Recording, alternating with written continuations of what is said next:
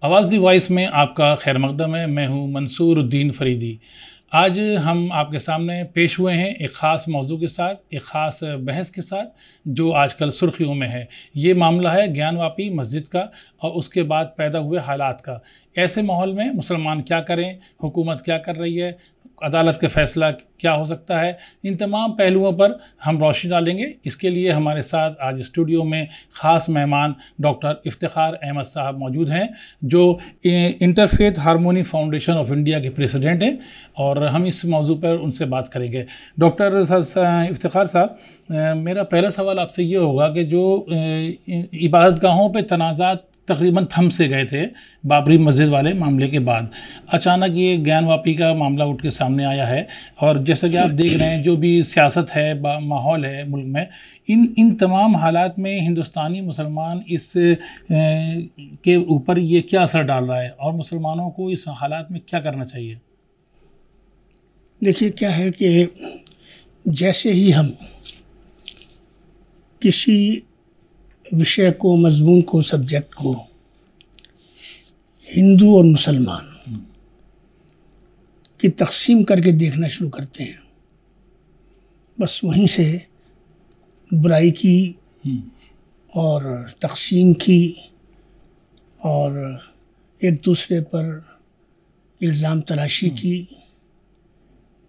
ان سب چیزوں کو بنیاد مل جاتی ہے۔ سبجیکٹ ٹھیک ہے۔ آپ کا سوال بھی ٹھیک ہے اپنی جگہ۔ اس میں کوئی دو رائے نہیں ہے کہ اس وقت گیان واپی مسجد کو لے کر ایک تنازعہ چل رہا ہے۔ آپ نے کہا کہ بابری مسجد رام جن بھومی کے سپریم کورٹ کے فیصلے کے بعد ایسا لگتا تھا کہ اب شاید اس قسم کے کنٹروورسیز جو ہیں وہ تھم جائیں گی۔ سپریم کورٹ کے ججمنٹ میں بھی اس طرح کے آبزرویشنس تھے۔ انہوں نے places of worship special provisions act nineteen ninety one کو آبزرویشن میں بہت اسٹرانگلی لیا تھا۔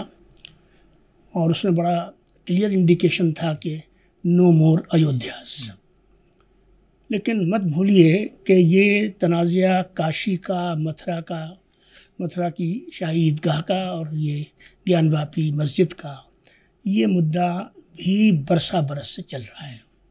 کبھی تیز ہو جاتا ہے، کبھی کم ہو جاتا ہے۔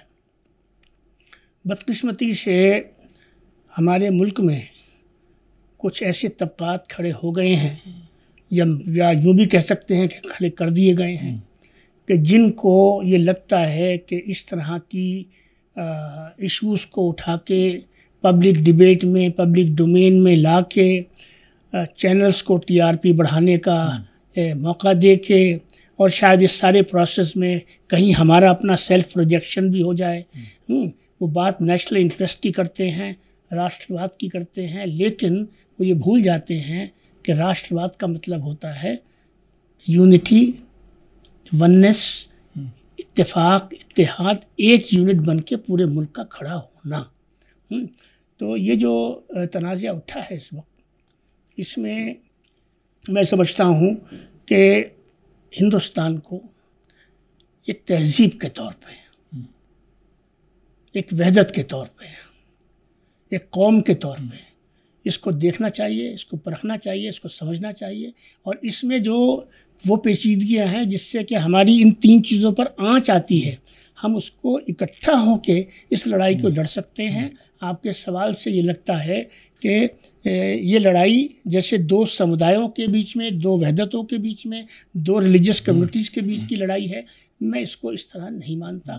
یہ ایک ایک ڈسپیوٹ ہے سب جوڈس ہے کورٹ آف لاء میں ہے، جو سول سوسائٹی ہے، اس کو اس طرح سوچتی ہے اور وہ اکراس دا بورڈ اس طرح سوچتی ہے کہ جو چیز عدالت میں چلی جائے۔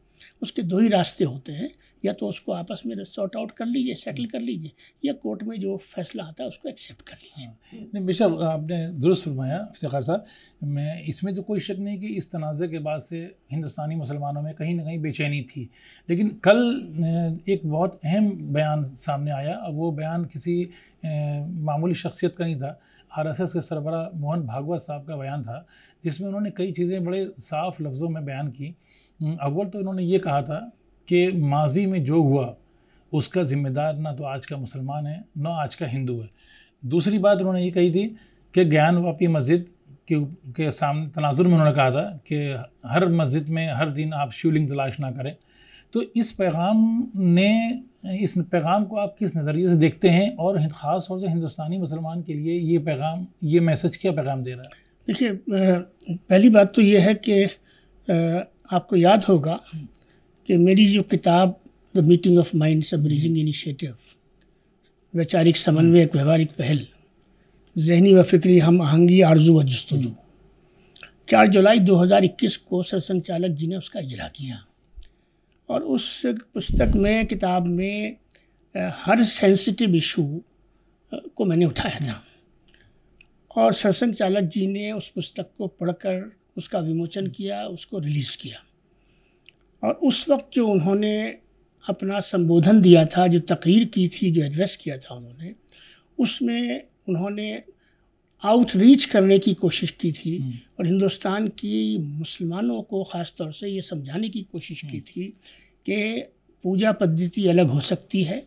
کھان پان الگ ہو سکتا ہے رہن سہن الگ ہو سکتا ہے بھاشا الگ ہو سکتی ہے لیکن اس سے ہمارے ایک راشٹر ہونے میں راشٹروادی ہونے میں ایک قوم ہونے میں کہیں کوئی رکاوٹ نہیں ہے۔ ایک بات یہ ہے۔ دوسری بات یہ انہوں نے کہا تھا کہ ہندوستان میں رہنے والے سبھی لوگوں کا ڈی این اے ایک ہے۔ ٹھیک ہے جس کا مطلب یہ ہوتا ہے کہ اس ملک کی جو مسلم آبادی ہے جس کو کوئی چودہ کروڑ کہتا ہے کوئی پچیس کہتا ہے کوئی تیس کہتا ہے مجھے اس سے غرض نہیں ہے۔ سوال یہ ہے کہ اس ملک کے اندر ایک بہت بڑی مسلم آبادی بستی ہے اس سے کوئی انکار نہیں ہے۔ اس یہ جو ہماری آبادی ہے اس کے ننانوے فیصد لوگ بلا شک و شبہ ان کی اسی مٹی سے ان کا تعلق ہے۔ ٹھیک ہے؟ اور جب اس بات کو ہم سمجھ لیتے ہیں تو بہت بڑی کنٹروورسی ختم ہو جاتی ہے کہ یہ باہر کا اور یہ اندر کا۔ اس میں جو میسیج انہوں نے اس وقت دیا تھا وہ یہ دیا تھا کہ یہ تقسیم بند کرو باہر اور اندر کی۔ ہم سب اور ہمارا روٹ جو ہے وہ سب کا ایک ہی روٹ ہے۔ دو باتیں ہوئیں تیسری بات اس کے بعد پھر متبادر ان پچھلے گیارہ مہینوں میں جتنے بھی ان کے بھاشن ہیں آپ دیکھ لیجیے انہوں نے اس لائن کو اتنا سا بھی نہ صرف چھوڑا بلکہ وہ برابر اسی لائن کو لے کے چل رہے ہیں۔ دو چیزیں آپ کو اور یاد دلاتا ہوں۔ انہوں نے کہا کہ ہندوتوا بنا مسلمان کے ہندوتوا ہو ہی نہیں سکتا۔ لنچنگ کے بارے میں انہوں نے کیا کہا؟ جو لوگ لنچنگ کرتے ہیں ان کا کوئی تعلق نہ ہندو ہے نہ ان کا ہندوتوا سے کوئی لینا دینا ہے۔ ٹھیک ہے؟ آج بڑھ کر اب یہ جو کنٹروورسی چلی ہے آپ نے دیکھا کہ جب بابری مسجد رام جن بھومی کا فیصلہ آیا تو پورے ملک میں اس وقت سے فیصلے سے پہلے ہر چھ دسمبر کو سنگھ کی طرف سے شوریہ دیوس منایا جاتا تھا۔ چھ دسمبر مسجد کی شہادت کے دن کو شوریہ دیوس منایا جاتا تھا۔ یعنی غلامی سے آزادی کے جشن کے طور پہ منایا۔ لیکن اس بار جو میسیج آیا سنگھ کی طرف سے سر سنچالک جی کی طرف سے کہ کوئی کسی قسم کا جو بھی ججمنٹ آتا ہے اس پر کوئی جشن نہیں ہوگا۔ اس پر کسی قسم کی کوئی ڈھول تاشے نہیں بجائے جائیں گے۔ آپ نے دیکھا کہ نہ تو ہمارے ہندو بھائیوں کی طرف سے ایک پٹاخہ چھوٹا فیصلے کے بعد، اور نہ مسلم سماج کی طرف سے کسی بھی جگہ پر، کہیں پر بھی کوئی کسی قسم کا کوئی پروٹیسٹ یا کوئی دنگا یا کوئی شور شرابہ یا کوئی کیا ہو، ایسا نہیں۔ پورے ملک نے اس کو ایکسیپٹ کیا۔ اب صورتحال یہ ہے کہ گیان واپی کو لے کر اتنا ماحول گرم ہو گیا ہے کہ ایسا معلوم ہوتا ہے جیسے کوئی ہمارے، ہماری سوسائٹی میں کوئی، ہم کوئی اسٹیٹ آف کانفلکٹ اور اسٹیٹ آف وار میں آ گئے، جبکہ ایسا ہے نہیں، لیکن پرسپشن ایسا بن رہا ہے۔ تو ایسے میں دو ہی لوگوں کی ذمہ داری بنتی ہے۔ ایک ذمہ داری بنتی ہے آر ایس ایس کے چیف کی، کیونکہ R S S Rashtriya Swayam Sevak سنگٹھن اور اس کے جو ادھیکش ہوتے ہیں، ان کی حیثیت ہوتی ہے بھارتیہ جنتا پارٹی کی حکومت میں آئیڈیل لاک کی، ایک فادر آف نیشن کی اس سیکشن میں جو اس کو مانتا ہے۔ میں پورے ہندوستان کو نہیں کہہ رہا ہوں، ٹھیک ہے؟ اور دوسری ذمہ داری ہوتی ہے اس شاسک کی جو ملک کا نظام چلاتا ہے جو ہمارے وزیر اعظم پردھان منتری نریندر مودی ہے ٹھیک ہے جب تک اس قسم کے ایشو پر ان دو جگہوں سے کوئی بات نہیں آتی تب تک ملک کی پالیسی سامنے نہیں آتی۔ میں تو سرسن چالک جی نے یہ کہہ کر کہ اگر ہم ہر مسجد میں شیولنگ تلاش کریں گے تو یہ تو سلسلہ کہیں جا کے رکے گا ہی نہیں۔ یہ سلسلہ نہیں چلے گا۔ اس پہ روک لگ جانی چاہیے ہر طرف سے۔ اب میں یہ امید کرتا ہوں کہ جس طریقے سے آئیڈیالوجی کی جو ایک کنسٹیٹوینسی ہے اور اس کی جو لیڈرشپ ہے اس نے بہت کھل کر گیان واپی کے لیے نہیں بلکہ آئندہ آنے والی اس طرح کی ہر کنٹروورسی کے چیپٹر کو بند کرنے کے لیے بڑا کھل کر بیان دیا جس کا میں سواگت کرتا ہوں۔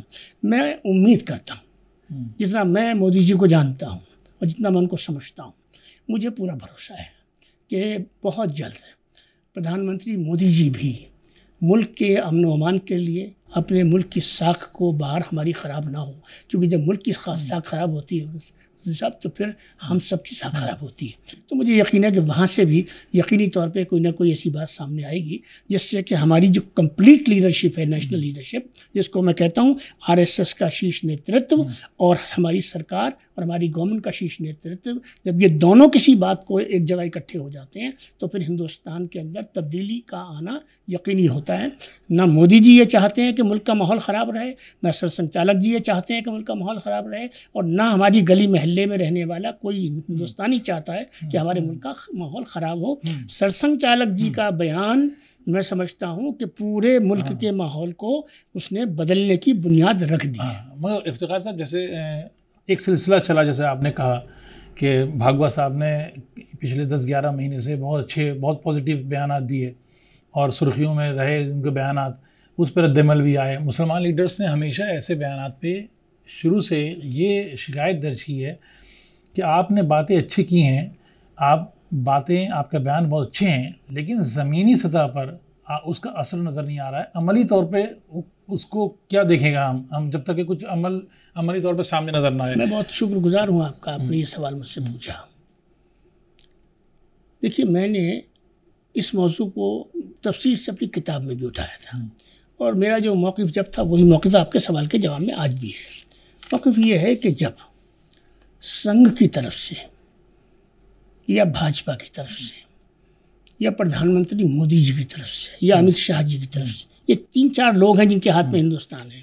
جب یہ کوئی ایسا بیان دیتے ہیں کہ جو بڑا پازیٹیو ہوتا ہے اور بڑا اس کے اندر ہیلنگ کا ایلیمنٹ ہوتا ہے یعنی زخم کو بھرنے کا۔ ایک ہوتا ہے زخم کو ہرا کرنا اور ایک ہوتا ہے زخم کو بھرنا یعنی پل سازی کا کام کرنا۔ ایسی صورت حال میں یہ ذمہ داری ہو جاتی ہے مہذب معاشرے کی کہ وہ اس پر سوال یا نشان نہ لگائے۔ مطلب پہ بالکل سوال یا نشان نہ لگائے بلکہ وہ اس کا کھلے دل سے خیر مقدم کرے۔ اور وہ جو بیان دیا گیا ہے اس بیان کو اتنی مورل اسٹرینتھ آپ اپنی کنسٹیٹوینسی سے دیجیے جس سے کہ جس شخص نے وہ اسٹیٹمنٹ دیا ہے اس کی کنسٹیٹوینسی میں ہو سکتا ہے کہ ایک طبقہ ایسا ہو جو اس اس لائن سے اتفاق نہ رکھتا ہو اور وہ اس چیز کی امید میں رہتا ہے کہ اس کا یہ اس بیان کا جو ریئیکشن مسلم کمیونٹی سے آئے گا وہ ایسا آئے گا کہ اس سے ہماری جو کنسٹیٹوینسی ہے یعنی فرنج ایلیمنٹس کی جو کنسٹیٹوینسی ہے وہ مضبوط ہوگی اور جو پازیٹیو کنسٹیٹوینسی ہے جو میجورٹی کی کنسٹیٹوینسی ہے، وہ ویک ہوگی۔ میرا کہنا یہ ہے کہ ہندوستان کے مسلم لیڈرز جتنے بھی ہیں جو اپنے آپ کو لیڈر سمجھتے ہیں کہتے ہیں جو انٹلیکچوئلس اپنے آپ کو سامنے پرومیننس میں رکھتے ہیں، اور وہ تمام لوگ جو اوپینین میکرز ہیں ہماری کمیونٹی کے، چاہے ان کا تعلق مذہب سے ہو، چاہے ان کا تعلق سیاست سے، ثقافت سے، کہیں سے بھی ہو، ان کو یہ چاہیے کہ وہ اس بیان یہ کہ خیر مقدم میں خدا کے واسطے ایف اینڈ بٹس نہ لگائیں بلکہ اس کے ساتھ میں کھڑے ہو جائیں۔ اور جب وہ کھڑے ہوں گے تو مجھے یقین ہے کہ سر سنچالک جی کو سنگھ کو اور سنگھ کے اندر جو اکثریت پائی جاتی ہے جو ہندو مسلم بھائی چارے میں یقین رکھتی ہے اس کو وہ طاقت ملے گی جس طاقت کے وہ منتظر ہے آپ کو ایسا نہیں لگتا کہ اس ان اس ماحول میں ان حالات میں ایک فیلنگ جو مسلمانوں میں پیدا کی جاتی ہے مظلوم ہونے کی؟ وکٹم موڈ کے جو وہ کہتے ہیں جیسے تو وہ فیلنگ پیدا کر کے کہیں نہ کہیں ڈسٹینس پیدا کیا جاتا ہے۔ دیکھیے ایسا ہے۔ یہ جو وکٹم ہوڈ ہے نا جتنے بھی سوال آپ نے مجھ سے کیے ہیں یا جتنے بھی سوال کیے جاتے ہیں وہ سارے سوالوں کا رخ جو ہے وہ ادھر ہوتا ہے۔ یعنی بی جے پی کو یہ کرنا چاہیے مودی جی کو یہ کرنا چاہیے سرسنگ چالک جی کو یہ کرنا چاہیے یہ اور کر دیں اور ایسا اور ہو جائے۔ میں اس پر کوئی ٹیکا ٹپڑی نہیں کرنا چاہتا لیکن میں یہ ضرور کہنا چاہتا ہوں کہ یہ جو توقعات ہوتی ہے نا امید جس کو ہم کہتے ہیں یہ کوئی یک طرفہ عمل نہیں ہے۔ میں اپنے آپ کو مکمل وکٹم بنا لوں اور دوسرے کو میں کٹہرے میں کھڑا کر دوں۔ ایسا چلتا نہیں ہے صاحب۔ ہونا یہ چاہیے کہ آپ وکٹم نہ بنائیں بلکہ آپ یہ دیکھیں کہ ادھر سے ایک دو تین قدم بڑھائے گئے۔ آپ یہ دیکھیں کہ میں کیا میں بھی ایک قدم میں نہیں کہتا کہ تین کے جواب میں آپ پانچ قدم اٹھائیے لیکن میں یہ ضرور کہتا ہوں کہ بھائی ادھر سے تین قدم اٹھے تو ایک قدم ڈیڑھ قدم آپ کا بھی تو اٹھے۔ وہ ڈیڑھ قدم کہاں ہے صاحب؟ مطلب یہ سوچ کہیں بہت بڑی رکاوٹ تو نہیں ہے۔ یہ رکاوٹ ہے۔ ہر شخص ایک انسان ہوتا ہے ہر انسان کے ساتھ میں انسانی فطرت جڑی ہوتی ہے۔ کیا سرسن چالک انسان نہیں ہے؟ کیا پردھان منتری مودی مودی نہیں ہے کیا میں میں انسان نہیں ہوں؟ میرے ساتھ میری ایک ہیومن نیچر چلتی ہے۔ وہ ہیومن نیچر کچھ ایکسپیکٹیشنس کے ساتھ چلتی ہے۔ یعنی میں آپ سے کچھ توقع کرتا ہوں بالکل اس طرح جس طرح آپ مجھ سے توقع کرتے ہیں۔ تو یہ ریسیپروکل پروسیس ہے۔ تو مطلب ایک خیالی چیز بنا دی گئی ہے۔ ہر چیز کو فرضی بنانے کی ہاں۔ جو ایک عادت بن گئی ہے۔ ارے صاحب یہ تو بیان دیتے رہتے ہیں یہ تو ہوتا رہتا ہے زمین پہ تو کچھ ہوتا نہیں۔ ارے بھائی زمین پہ تو جب ہوگا میرے بھائی جب آپ اس عمل کو اخلاقی طاقت تو دیجیے آپ اگر اس کو اخلاقی طاقت نہیں دیں گے آپ خیر مقدم بھی کریں گے سواگت بھی کریں گے تو سواگت کا تو جملہ آپ کا ایک ہوگا اور تین اس کے ساتھ میں پخ آپ لگا دیں گے۔ تو ایسے نہیں چلا کرتا ہے۔ ابھی پچھلے دنوں میری ایک بات ہو رہی تھی اسلامک اسکالر تھے انہوں نے کہا تھا کہ بادشاہوں کا کوئی مذہب نہیں ہوتا تھا۔ ابھی جیسے موہن بھاگوت نے تقریر میں بات کہی ہے جب بھی وہ بات کرتے ہیں وہ کہتے ہیں حملے آور جو ہندوستان پہ حملے آور آئے تھے ان کے ساتھ اسلام آیا تھا۔ ہندوستان میں مغلس کو مسلمان کہیں نہ کہیں درجہ دیتے ہیں یا ان کو مانتے ہیں یا ہسٹری کے اینگل سے اس کی اہمیت جانتے ہیں تو آپ کو لگتا ہے کہ اگر آج ان کو ایک حملے آور کی شکل میں پیش کیا جا رہا ہے تو اس صورت حال میں مسلمان کیا اس سے ڈیفینڈ کرے یا اس کو ایکسیپٹ کر لے؟ اچھا سوال ہے آپ نے دیکھیے کیا ہے۔ بات یہ ہے کہ ہندوستان پر حکومت افغانس نے کی ہے ایرانیوں نے کی ہے۔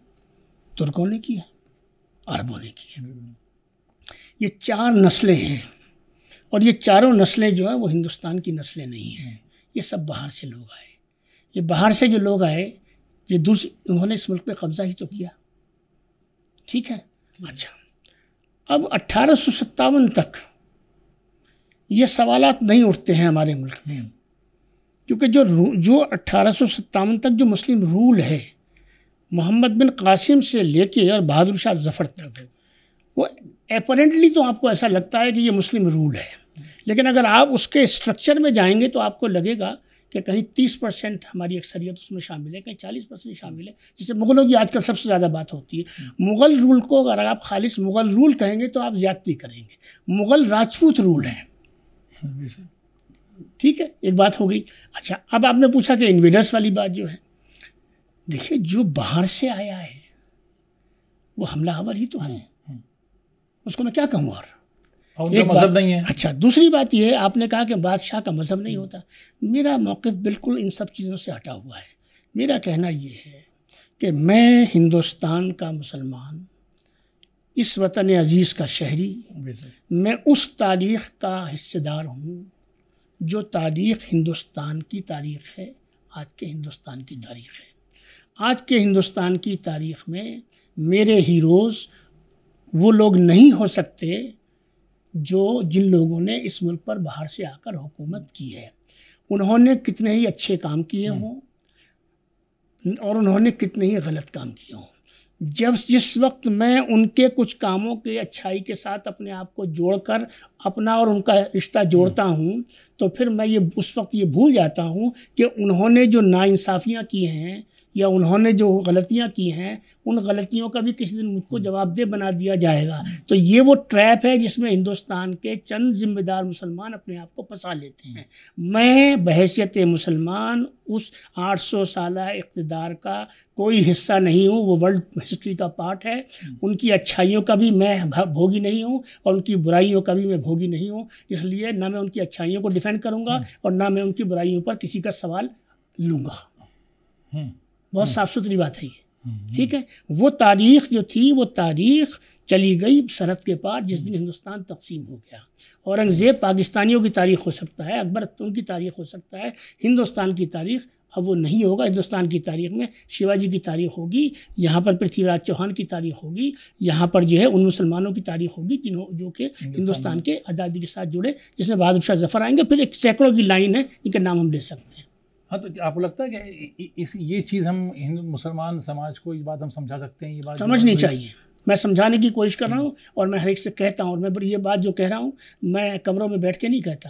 ہاں ہندوستان کے مسلمان کو بالکل اس ہسٹری سے اپنے آپ کو نہیں جوڑنا چاہیے۔ جیسے کہ جب اورنگزیب روڈ کے بدلنے کی بات آئی اور ڈاکٹر اے پی جے عبد الکلام کی نام آئی تو آپ نے جو ہے وہ اس کو ایسا بڑا اتنا ایشو بنا لیا اپنا جیسے کوئی ہمارے مذہب پہ خدا نخواستہ خطرہ آ گیا۔ خواہش صاحب ہے تو یہ تاریخ کا حصہ ایک اتہاس جیسے کہتے ہیں۔ تو آپ اس کو مٹانے کس کون سے اتہاس جو مغلس کا دور ہے چاہے سڑکوں کا نام بات کر رہی ہے۔ بالکل نہیں۔ میں نے یہ نہیں کہا کہ نام بدل دیجیے۔ میں نہ میں یہ کہہ رہا ہوں کہ اتہاس مٹانے کی بات کروں میں یہ بات نہیں کر رہا۔ میں یہ کہہ رہا ہوں اونرشپ جس کو کہتے ہیں۔ آج کے ہندوستان میں میری اونرشپ مغلس نہیں ہو سکتے۔ میں یہ کہہ رہا ہوں۔ افغانس نہیں ہو سکتے ایرانینس نہیں ہو سکتے۔ میری ہسٹری وہ نہیں ہے۔ لیکن دیکھیے ایک چیز یہ کہ ورلڈ ہسٹری ہے۔ ہاں، وہ مسلم ہسٹری ہے۔ اس میں کوئی درائی نہیں۔ ایک بات مسلمانوں کے سامنے یہ ہے خواجہ صاحب کہ آپ ہم کو ہندوستانی بھی کہتے ہیں۔ آپ ہم کو ڈی این اے سے جڑا ہوا بھی مانتے ہیں۔ ٹھیک ہے۔ اپنی سہولت سے آپ ہم کو ہندو کہتے ہیں ہندوستانی کہتے ہیں اپنی ہندو اپنی سہولت سے آپ ہم کو مسلمان بھی قرار دے دیتے ہیں۔ تو آخر مطلب کہ مسلمان اسی کنفیوژن میں ہیں کہ ہم ہیں کیا؟ کبھی آپ ہم کو ہندوستان میں رہنے والا ہر آدمی ہندو ہے تو پھر اس میں ہم بھی ہندو ہیں۔ کوئی مسئلے کا کوئی مسئلہ ہی نہیں ہے۔ یہ سوال میں نے بھی اٹھایا۔ جی۔ کتاب میں بھی اٹھایا یہ بات۔ جیسے میں نے ابھی تاریخ کی بات کی نہیں کہ مسلم ہسٹری ورلڈ کی ہے۔ اس کا سب پارٹ ہے۔ ٹھیک ہے نا؟ اور اس حوالے سے میں بھی اس کا پارٹ ہوں۔ ٹھیک ہو گئی بات؟ لیکن ایک وہ ہسٹری ہے جو میرے انڈیا کی ہندوستان کی ہسٹری ہے۔ اب میں جس ہندوستان میں رہتا ہوں جس کا میں شہری ہوں میری ہسٹری وہ ہوگی جو اس ملک کی ہسٹری ہے۔ آپ نے جو بات اٹھائی کہ کیا سوال تھا میرے ذہن سے نکل گیا معاف کیجیے۔ وہ ہندو ہر شخص ہندو ہے۔ ہاں، ہاں۔ دیکھیے کیا ہے۔ میں نے بھی یہ سوال اٹھایا اور میں یہ سوال آپ کے ذریعے سے پھر اٹھاتا ہوں۔ جب سنگھ یہ کہتی ہے سنگھ کا لٹریچر یہ کہتا ہے سنگھ کی آئیڈیالوجی یہ کہتی ہے اور سنگھ کا شیش نیترتو اور باقی کاڈر بھی یہ کہتا ہے کہ اس ملک میں رہنے والا ہر ویکتی ہندو ہے۔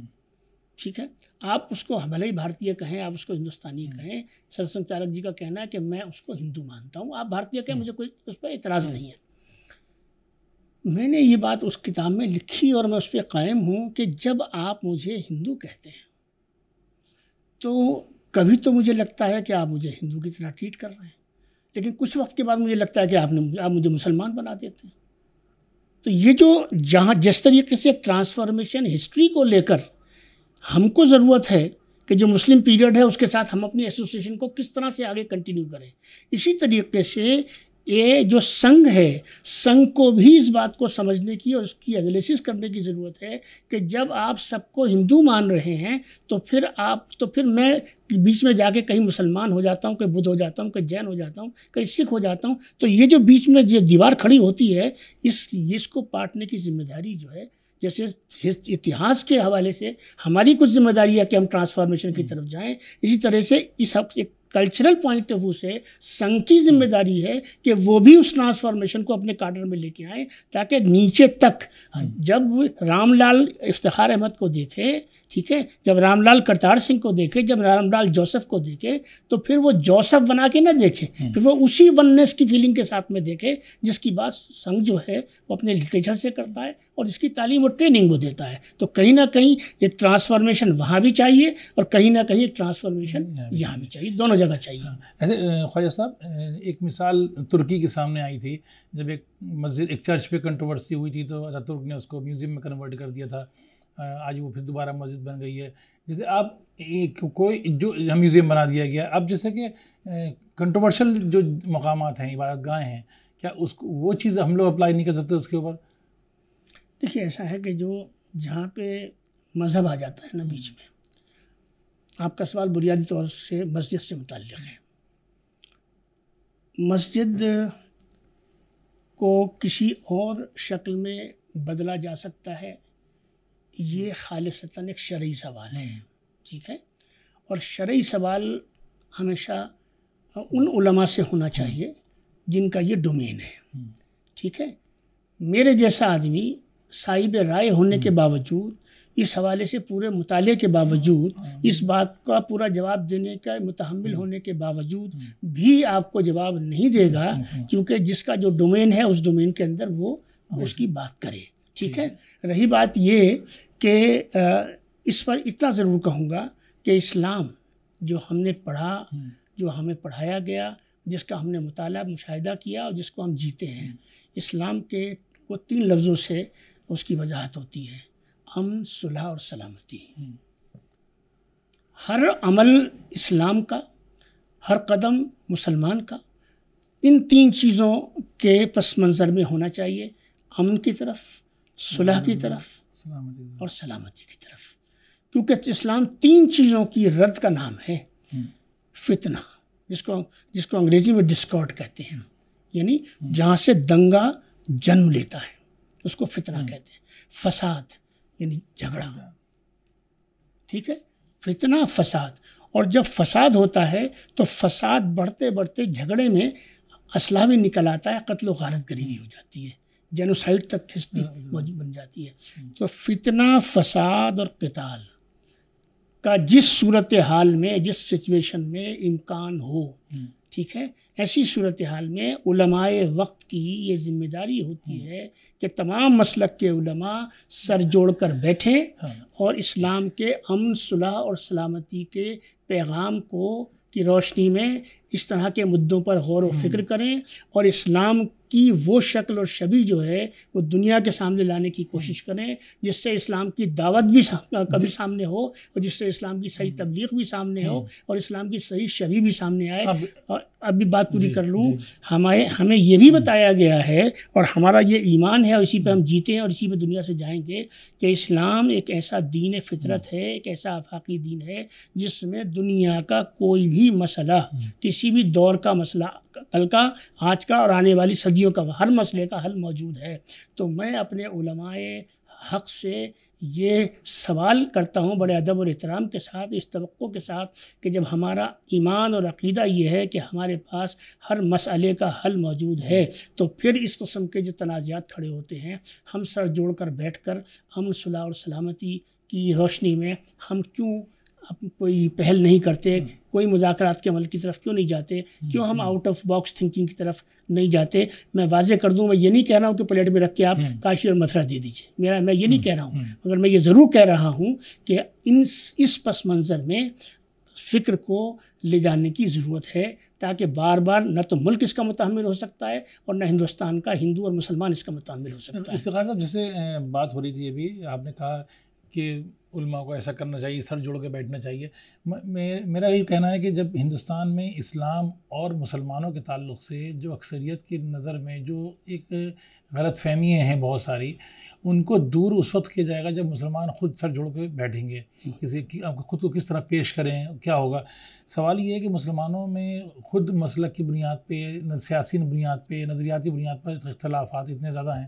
کہ وہ چیز ممکن نظر نہیں آتی ہے۔ اس صورت میں ایک عام مسلمان کے لیے وہ کیا راستے ہو سکتے ہیں جو وہ اپنے آپ کو، اپنے مذہب کو بہتر طور پہ سامنے پیش کرے؟ دیکھیے، اللہ کے رسول صلی اللہ علیہ وسلم نے ایک بات فرمائی۔ اور جب اللہ کے رسول کا ذکر ہوتا ہے تو ہم ماضی میں بات نہیں کرتے۔ کیونکہ آپ نے جو فرمایا، وہ فرمایا ہے کیونکہ وہ تا قیامت نافذ العمل ہے۔ آپ نے فرمایا ہے کہ تم میں سب سے افضل وہ ہیں جن کے اخلاق سب سے بلند ہیں۔ جس کو ہم نے انگریزی میں کہتے ہیں the best amongst you are those whose manners are the best ٹھیک ہے؟ آپ نے یہ نہیں کہا کہ جو سب سے زیادہ نمازی ہو سب سے زیادہ روزدار ہو وقت پہ زکوٰۃ دیتا ہو حج ضرور کرتا ہو پڑوسی کا خیال کرتا ہو یہ سب باتیں نہیں کی آپ نے۔ آپ نے بنیادی بات کہہ دی۔ کیونکہ اگر اخلاق اچھا ہوگا تو نمازی ہوگا روزدار ہوگا غریب پرور ہوگا ہمدرد ہوگا پریشانی میں دوسرے کے ساتھ کھڑا ہوگا پڑوسی کو اپنے رشتے دار سے زیادہ سمجھے گا۔ اولاد کا حق ادا کرے گا بیوی کا حق ادا کرے گا ملک کا حق ادا کرے گا سماج کا حق ادا کرے گا یہ یہ فطری طور پہ اس کے اندر یہ چیز ہوگی۔ تو ہمارے معاشرے میں جو اخلاق ہونا چاہیے جو پاکیزگی ہونی چاہیے جو تہارت ہونی چاہیے۔ اس کے اس کو میں اگر آسان زبان میں کہوں کہ جو صفائی ستھرائی ہونی چاہیے۔ ٹھیک ہے؟ جو آپ کے محلوں میں اور آپ کی لوکیلٹیز میں لوگوں کا ویوہار ہونا چاہیے۔ ٹھیک ہے؟ اور جو آپ کا دوسری کمیونٹیز کے ساتھ میں جو آپ کا انٹریکشن ہے نا؟ وہ چاہے بزنس کا ہو چاہے سوشل ہو چاہے ایموشنل ہو وہ اس کے پیرامیٹرس کیا ہیں؟ اگر ان تینوں لیولز پر ایک اچھا سلوک آپ کا ہوگا۔ تو یہ فطری بات ہے کہ پھر دونوں طرف سے ایک اپنائیت پیدا ہو جائے گی۔ جو جو اپنائیت صدیوں رہی ادھر کیسے خراب ہو گئی اب ایک چھوٹی سی بات کہیں۔ مسلم محلوں میں جب ہم جاتے ہیں یہ تکلیف کے ساتھ میں کرب سے کہہ رہا ہوں۔ تو بھائی گندگی کیوں شروع ہو جاتی ہے؟ اس کی ذمہ داری کون لے گا؟ اس کی ذمہ داری ایم سی ڈی لے گی۔ اس کی ذمہ داری سرکار لے گی اس کی ذمہ داری مودی صاحب لیں گے یا اس کی ذمہ داری سر چالک لیں گے اس کی ذمہ داری خواجہ صاحب کب لیں گے؟ تو تقریر اور واز میں تو ہم یہ کہہ رہے ہیں کہ صاحب صفائی آدھا ایمان ہے۔ اور محلے میں جب گھس رہے ہیں تو رومال رکھ کے گھسنا گھسنا پڑ رہا ہے۔ تو یہ جو ہماری یہ جو کنٹرڈکشنس ہیں نا صاحب ان کنٹرڈکشن ہمیں اپنے اندر بھی جھانکنے کی ضرورت ہے۔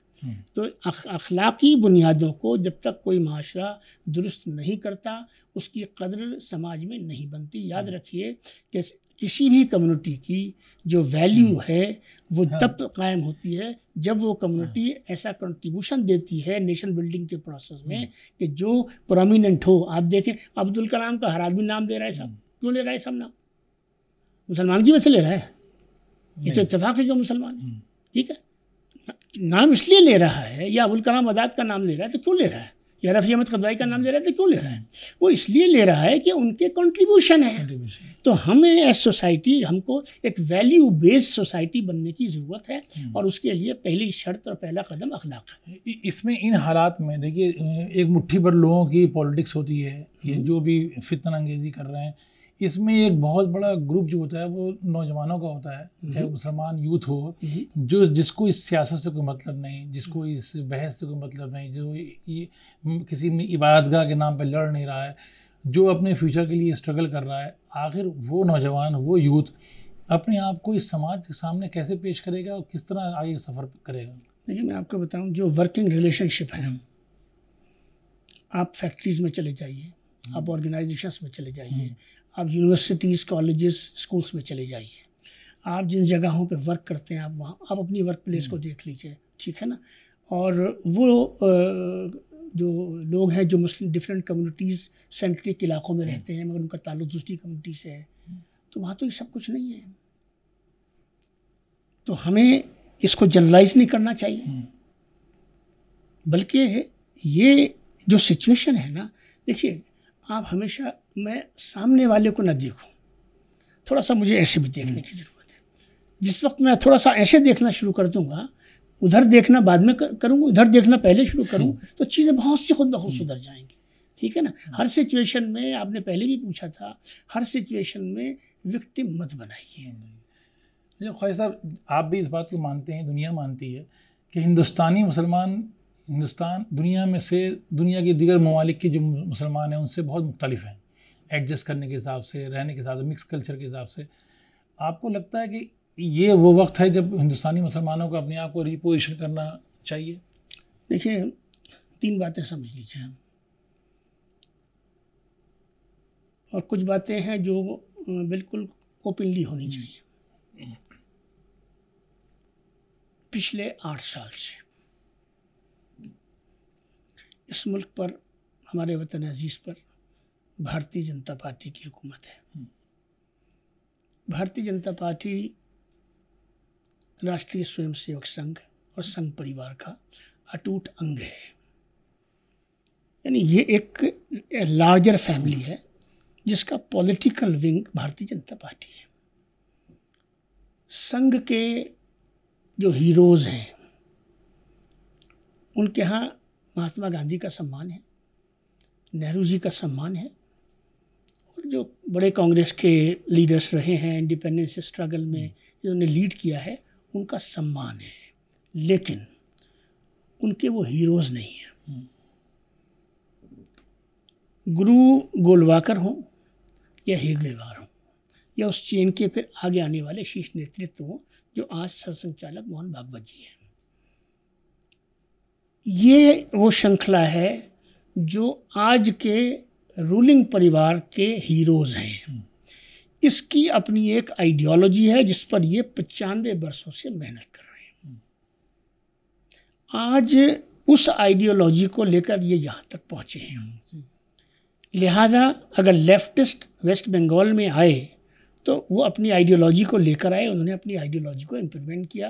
میں یہ ڈسکس نہیں کر رہا ہوں کہ ان کی صحیح تھی کہ ان کی صحیح ہے ان کی غلط ہے کہ ان کی غلط ہے۔ میں جو گراؤنڈ ہے میں اس کی بات کر رہا ہوں۔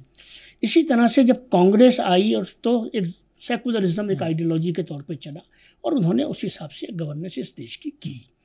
اب یہ جو گورننس ہے اب یہ ہندوتوا بیسڈ آئیڈیالوجی کو لے کر چلنے والی سرکار ہے۔ یہ سچ یہ صحیح ہے کہ سرسنگ چالک جی نے بھی یہ بات بڑی کھل کے کہی ہوئی ہے پردھان منتری مودی جی نے بھی یہ بات کہی ہے۔ اور جس وقت وہ پہلی مرتبہ پارلیمنٹ کے اندر داخل ہوئے تھے تو آپ کو یاد ہوگا کہ انہوں نے زمین کو بوسہ دے کر اندر داخل ہوئے تھے۔ اور انہوں نے پہلے ہی اپنے بھاشن میں کہا تھا کہ جو ہمارا جو یہ کانسٹیٹیوشن ہے یہ یہ جہاں میں کھڑا ہوں یہ ٹیمپل ہے۔ اور جو انڈین کانسٹیٹیوشن ہے یہ ہمارا گرنتھ ہے۔ ٹھیک ہے؟ تو کانسٹیٹیوشن وہی ہے۔ لیکن اس کانسٹیٹیوشن کو اب لے کر چلنے والے وہ لوگ ہیں جو کہ جن کی ایک ڈفرینٹ آئیڈیالوجیکل بیس اور گراؤنڈ ہے۔ اس بات کو ہمیں سمجھنے کی ضرورت ہے۔ لہٰذا اس پس منظر میں ہر بات کو سمجھنے کی ضرورت ہے اور آگے اپنے آپ کو چلانے کی ضرورت ہے۔ ہندوستان کے مسلمان کو یہ سمجھنا پڑے گا کہ یہ اب بدلا بدلی ہوئی زمین ہے۔ اس زمین کے رولز آف بزنس بدل چکے ہیں۔ آپ جب تک اپنے اندر فکری طور پہ تغیر اور تبدیلی کا عمل شروع نہیں کریں گے آپ کے لیے دشواریاں بڑھیں گی۔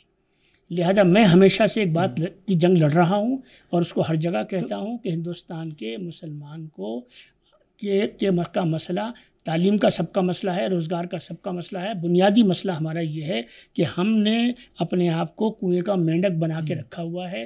ہمیں اپنے کانوں کو آنکھوں کو سوچنے کو اپنی جو فیکلٹیز ہیں ان کی گرہ کو کھولنا پڑے گا اور فریش تھنکنگ کی طرف جانا پڑے گا۔ کیونکہ جب تک ہمارے یہاں تھاٹ پروسیس جو ہے وہ درست نہیں ہوگا ایکشن پروسیس درست نہیں ہو سکتا۔ جیسے آپ نے کہا کہ گراؤنڈ بدل چکا زمین بدل چکی ہے ماحول بدل چکا ہے۔ آپ کو لگتا نہیں مسلمانوں میں شناخت کا مسئلہ پیدا ہو رہا ہے؟ ایک ایک کرائسس ہے آئیڈینٹی کا۔ دیکھیے شناخت انہیں لگتا ہے کہ خطرے میں تقریباً تینتیس چونتیس کروڑ امریکہ کی آبادی ہے۔ سکس ملین جیوز ہیں۔ انہوں نے تو کبھی نہیں کہا کہ ہماری شناخت کو خطرہ ہے۔ ہمارے ملک میں چھپن ستاون ہزار پارسی رہتے ہیں۔ انہیں تو انہوں نے تو کبھی نہیں کہا کہ ہماری آئیڈینٹی کو خطرہ ہے۔ یہ پچیس کروڑ کہتے ہو تیس کروڑ کہتے ہو پینتیس کروڑ کہتے ہو اسلام کے ماننے والے ہو ٹھیک ہے؟ جس کو آخری حق مانتے ہو جس کو جس جس جو ہمارا ایمان ہے۔ اور اس کے باوجود آپ کو ہر وقت ہر وقت شناخت یاد رکھیے شناخت کوئی کسی کی نہ لے سکتا ہے نہ ختم کر سکتا ہے۔ اردو آپ نے پڑھنی چھوڑی ہے۔ میں بڑی ذمہ داری سے کہہ رہا ہوں اردو داں طبقے کا ایک سروے کر لیجیے۔ دینی مدارس میں پڑھانے والوں کے بچوں کا سروے کر لیجیے۔ اور جو یونیورسٹیوں میں ہمارے اساتذہ اردو کے پڑھا پڑھا رہے ہیں ان کا ان کا کر لیجیے۔ اور جو اردو میڈیم اسکولوں میں اساتذہ پڑھا رہے ہیں ان کا کر لیجیے۔ اور وہ تمام سیاستدان جو کہ اردو اردو اور مسلمانوں کا تشخص ان کی تہذیب ان کی تمدن ان کا اقدار ان کی روایات ان کی تاریخ ان کا یہ۔ میں بھی بولتا چلا جاؤں گا مجھے بھی الفاظ کی کوئی کمی نہیں ہے ہے نا؟ لیکن پہلا انصاف گھر سے ہوتا ہے۔ بالکل۔ کیا اردو پڑھا رہے ہیں ہم کہہ رہے ہیں اردو ختم کی جا رہی ہے۔ اردو تو آپ ختم کر رہے ہیں۔ میں آپ کو مثال دیتا ہوں۔ باہر مت جائیے جس شہر میں بیٹھے اسی کی بات کر لیجیے جامع مسجد کے علاقے میں میرے بچپن میں بلی مران کے علاقے میں فراش خانے میں باڑا ہندوراؤں میں کشاب پورے میں اس پوری بیلٹ کے اندر جو مسلم بیلٹ کہلاتی ہے جمنا پار میں جتنے اردو میڈیم اسکول تھے لگ بھگ لگ بھگ اس میں سے زیادہ تر بند ہو چکے ہیں۔ ہاں، اس کی ذمہ داری کون لے گا؟ تشخص کوئی کسی کا نہیں ختم کر سکتا ساخت و شناخت کوئی ختم نہیں کرتا قومیں خود کرتی ہیں۔ ان تمام چیزوں کے تعلق سے افتخار صاحب آپ کیا سمجھتے ہیں؟ آپ کی نظر میں کیا ہے کہ مسلمانوں میں یہ بیداری پیدا کرنے کے لیے کیا کیا چیز اہم ہے؟ کس طرح کی جائے یہ بیداری پیدا؟ سب سے پہلی بات یہ ہے کہ ہم اب نئی فکر کی طرف بڑھیں اور اس کی میں دلیل اور منطق دیتا ہوں آپ اگر ان سات دہائیوں میں سب کچھ صحیح تھا، سب ہرا ہی ہرا تھا، تو ہم مرجھائے میں کیوں ہیں؟ ہم پر پتجھڑ کیوں ہیں؟ ہماری پتیاں پیلی کیوں ہیں؟ ہمیں جو کچھ ملا، ہم نے نہیں، جو دیا ہمیں، وہ ہمیں سچر کمیٹی دی۔ اس نظام نے۔ اور سچر کمیٹی نے ہمارے گلے میں ایک توق ڈال دیا، یہ بتایا کہ ہم ساٹھ پینسٹھ سال سے جو محنت کر رہے تھے کہ آپ جو ہیں کہہ تو رہے تھے کہ ہم آپ کو بالکل اپنے کندھوں پہ بٹھا کے چل رہے ہیں، مگر ہم نے وہ خدمت انجام دے دی کہ ہم نے آپ کو اس ملک کی سب سے کمزور وحدت بنا دیا۔ اب آپ جو ہے بھیک منگے بن گئے، اب آپ مانگتے پھریے آپ کہیں صاحب مجھے وظیفہ دے دو، مجھے کنسیشن دے دو، مجھے یہاں پہ یہ یہ دے دو، مجھے ہر چیز دے دو دے دو دے دو۔ علی، یہ قوم جو ہے مانگنے والی، یہ قوم بنا دیا۔ جبکہ ہونا کیا چاہیے تھا؟ قوم تو وہ ہوتی ہے، خوددار قوم جو یہ ہوتی ہے۔ جو یہ والا ہوتا ہے اس کا عزت نفس کہیں گم ہو جاتا ہے۔ تو اس قوم کو، اپنے عزت نفس کو باہر لانے کی ضرورت ہے اور وہ جب آئے گی، جب آپ اپنے اندر علم کی روشنی پیدا کریں، پاس ہونے کے لیے نہیں، آئی ایس کمپٹیشن میں کوالیفائی کرنے کے لیے نہیں، وہ جب ہوگا، جب آپ کے فکر کا کے اندر تبدیلی پیدا ہوگی آپ کے سوچنے کے اندر ایک آپ کی نہج بدلے گی۔ آپ ایک ہی رنگ میں مت سوچیے آپ جب تک آپ یہ سوچتے رہیں گے کہ صاحب یہ آر ایس ایس ہے یہ سنگھ ہے یہ جو مودی جی ہیں یہ دوسرے سنچالک ہیں جی یہ تو بی جے پی کے ہیں تو آر ایس ایس کے ہیں یہ تو ہمارے نمبر ون دشمن ہیں ان کا تو ایسا ہو بس۔ اور ان کو ہراتے رہیں گے تو ان کو جتاتے رہیں گے۔ جب تک اس طرف چلیں گے اس کا مطلب یہ ہے کہ آپ ایک جاہل سوچ کی طرف چل رہے ہیں۔ یہ پڑھی لکھی فکر نہیں ہے۔ پڑھی لکھی فکر یہ ہے ٹھیک ہے آپ کو ایسا لگتا ہے یہ چیلنج ہے۔ میں ان لوگوں میں سے ہوں جو چیلنج سے ڈرتا نہیں ہے جو چیلنج کو اپارچونیٹی سمجھتا ہے۔ کہتے ہیں یہ اپارچونیٹی ہے اور اپارچونیٹی کا مطلب یہ ہوتا ہے انگیج کریے۔ جیسے میں آپ کو بتاتا ہوں میں ایک مسلم کی حیثیت سے اتنا کنوینسڈ ہوں الحمد للہ اپنے دین اپنے عقیدے سے۔ بٹھائیے مجھے جس کے سامنے بٹھانا ہے آپ کو۔ میرا چیلنج ہے۔ یہ چیلنج اس لیے نہیں ہے کہ میں خدا نخواستہ کسی ایروگنس میں جی رہا ہوں بلکہ یہ میں اس لیے کہہ رہا ہوں کہ میں بائی کنوکشن وہ ہوں جو میں ہوں۔ ٹھیک ہے نا؟ مجھے تو کوئی خطرہ محسوس نہیں ہوتا صاحب۔ ایک خطرہ ہم خود بلڈ اپ کرتے ہیں۔ اپنے اندر خود اعتمادی رکھیں۔ اور آپ کے پاس جو آپ کی نسبت ہے میں سمجھتا ہوں خود اعتمادی کے لیے وہ بہت بڑی طاقت ہے۔ اس کو کیوں کمزوری کا اس میں مظاہرہ کرتے ہیں کہ ہم ڈر رہے ہیں ہم ایسا ہو رہا ہے ہمیں کوئی مٹا دے گا؟ نہ ڈرنے کی ضرورت ہے نہ کوئی کسی کو مٹا سکتا ہے نہ کوئی مٹ سکتا ہے ہے نا؟ ہماری اپنی کمزوریاں ہیں کمزوریوں کو ٹھیک کریں۔ بے شک۔ ہاں، افتخار صاحب، آخری سوال میرا یہ رہے گا کہ ابھی موجودہ حالات میں ملک میں آپ نے دیکھا ہوگا مسلمانوں کی مختلف تنظیموں کے بڑے بڑے فنکشن ہوئے، اجتماع ہوئے، دانشور حضرات کا میٹنگز ہوئی ہیں اور وہ ان حالات کے اوپر انہوں نے سر جوڑ کے بیٹھ کے باتیں کی ہیں۔ آپ کو لگتا ہے کہ اس وقت اس کا کیا نتیجہ نکل سکتا ہے اس طرح بیٹھ کے بات کرنے کا؟ اور کیا اور کیا بہتر طریقہ ہو سکتا ہے مسلمانوں کے لیے اس، ان حالات میں کوئی راستہ نکالنے کا یا حکومت سے رابطہ کرنے کا؟ ایسا ہے کہ ابھی حال میں چار صوبوں میں، چار یا پانچ صوبوں میں انتخابات ہوئے۔ جن میں سب سے زیادہ فوکس اتر پردیش پر تھا کیونکہ وہاں مسلم آبادی بیس فیصدی کے قریب ہے۔ وہاں پر جتنے بھی ہمارے انٹلیکچوئلس اپنے آپ کو کہتے ہیں، ان کے فورمز ہیں آرگنائزیشنز ہیں، یا جو اپنے آپ کو ملی شخصیات کے زمرے میں رکھتے ہیں یا اداروں کی شکل میں پیش کرتے ہیں یا تنظیمیں تحریکوں کی شکل میں پیش کرتے ہیں، میں کسی کا نام لینا مناسب نہیں سمجھتا۔ سب نے سر جوڑ کر پوری طاقت لگائی اور ایک جماعت بھی درمیان میں رکھی، اس کے کینڈیڈیٹس بھی کھڑے ہوئے۔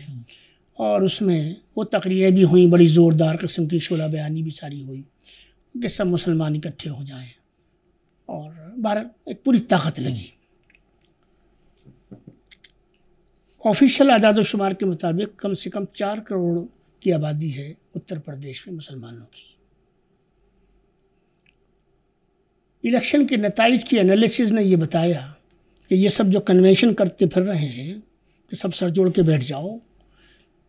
ان سب کی طاقت لگنے کے بعد تین لاکھ ووٹ ملے اور تمام امیدواروں کی ضمانت ضبط ہوئی۔ تو سمجھانا یہ چاہتا ہوں ان کو بھی یہ کہنا چاہتا ہوں کہ جب تک پہلی کریڈیبلٹی پہلی زمین کسی بھی لیڈر کی اور لیڈرشپ کی آرگنائزیشن کی اس کی اپنے گھر میں ہوتی ہے۔ اگر آپ کی زمین آپ کے ہی گھر میں آپ کے پیروں کے نیچے سے کھسکی ہوئی ہے اور آپ کھڑے ہو کر تقریر کر رہے ہیں اور چیلنج کر رہے ہیں اس سنگٹھن کو اور اس کی لیڈرشپ کو جس کے پیچھے کم سے کم پچاس فیصدی ہندوستان کھڑا ہوا ہے۔ اتنا بڑا سنگٹھن کھڑا ہوا ہے۔ ٹھیک ہے نا؟ تو ذرا اپنے گریبانوں میں جھانک کر دیکھیے۔ پہلے اپنی کریڈیبلٹی بنائیے۔ قوم میں اپنی زمین بنائیے۔ چیلنج مت کریے۔ چیلنج پہلی بات تو یہ کہ چیلنج کرنا نہیں چاہیے، لیکن اگر آپ کو چیلنج کا شوق ہے تو چیلنج کے لائق بنائیے۔ اب یہ ہماری کمیونٹی، یہ کہ جو یہ حضرات ہیں، ان کو یہ ضرورت ہے کہ یہ اپنے آپ کو چیلنج کے لائق بنائیں، اپنی کمیونٹی میں زمین بنائیں اور کمیونٹی کا بھروسہ جیتیں۔ جب کمیونٹی کا بھروسہ جیتیں گے تو ٹیبل پہ سامنے وہ بیٹھتا ہے جس کے جس کے پیچھے طاقت ہوتی ہے۔ اس ملک میں لوکتنتر ہے جمہوریت ہے۔ جمہوریت میں اگر سر آپ کے پیچھے نہیں ہے تو آپ کے سر میں کتنی ہی طاقت ہو وہ سر بے سر ہو جاتا ہے۔ دیکھیے بہت بڑی بات کہی افتخار صاحب نے کہ جب تک آپ کی حیثیت خود آپ کے گھر کے اندر نہیں ہوگی باہر آپ کو کون پوچھے گا؟ ہم نے آج جن جس موضوع پہ بات کی اور جن پہلوؤں پر روشنی ڈالی ان میں ڈاکٹر افتخار صاحب نے پوری بے باکی کے ساتھ اور صفائی کے ساتھ اپنی رائے رکھی۔ انہوں نے بتایا ہے کہ کس مسئلے کا کیا حل نکل سکتا ہے اور کس طرح مسلمانوں کو سوچنا چاہیے۔ بہت ساری باتوں کو انہوں نے اجاگر کیا ہے اور وضاحت کے ساتھ بیان کر دیا ہے۔ اور جو عبادت گاہوں کی بات ہے جو مسلمانوں کا طرز زندگی ہے اور جو مسائل ہیں سب پہ آج بہت تفصیل سے بات چیت ہوئی ہے۔ میں ڈاکٹر خواجہ افتخار صاحب کا شکریہ ادا کروں گا اسٹوڈیو آنے کے لیے۔ انہوں نے بہت قیمتی وقت دیا اور بہت ہی اچھی باتیں بہت ہی کھل کے بتائی ہیں ہم لوگوں کو۔ اور آج اس پروگرام میں اتنا ہی۔ آئندہ پھر ملاقات ہوگی تب تک کے لیے الوداع۔ بہت شکریہ آپ کا۔